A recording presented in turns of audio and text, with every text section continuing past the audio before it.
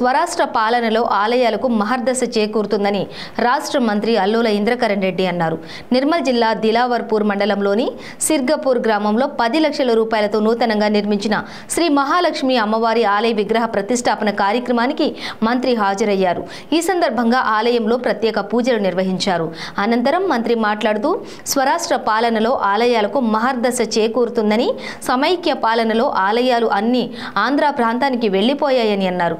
ప్రసిద్ధ పుణ్యక్షేత్రమైన బాసర సారంగపూర్ మండలంలోని ఆడెల్లి పోచమ్మ ఆలయంతో పాటు ఇతర ఆలయాలు నిర్మల్ జిల్లాలో ఎంతగానో అభివృద్ధి చెందాయని అదే తరహాలో ఇతర ఆలయాలు అభివృద్ధి చేసేందుకు కృషి చేస్తామని అన్నారు.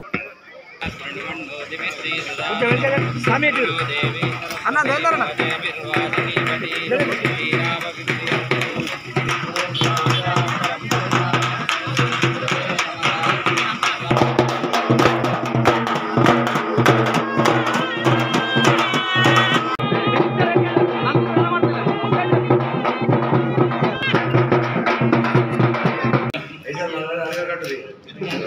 రా లోపలకు మూడు పెట్టు.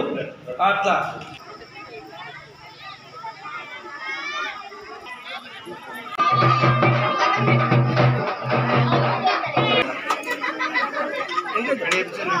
నువ్వు ముందే జరుగు కొంచెం.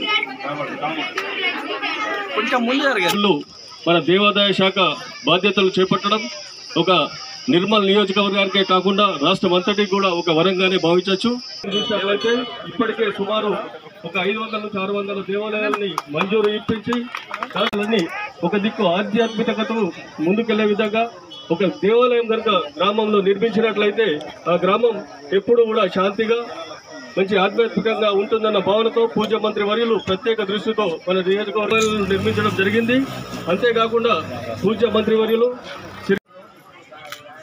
సిరిగాపూర్ గ్రామంలో ఈరోజు మహాలక్ష్మి అమ్మవారి విగ్రహ ప్రతిష్టాపన కార్యక్రమము. దేవాలయానికి పది లక్షల రూపాయలు మంజూరు చేయడం జరిగింది.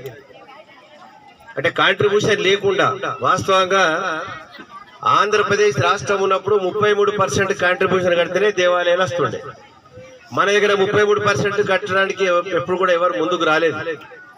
దేవాలయాలు ఎక్కడ పోయినాయంటే ఆంధ్ర ప్రాంతంకే పోయినాయి దేవాలయాలు.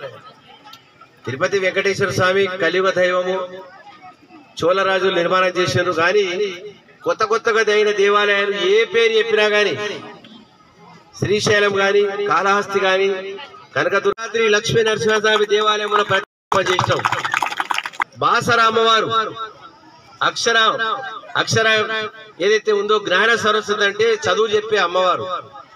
ఆ విధంగా అమ్మవారి దేవాలయం కూడా బ్రహ్మాండమైనటువంటి అభివృద్ధి కార్యక్రమాలు.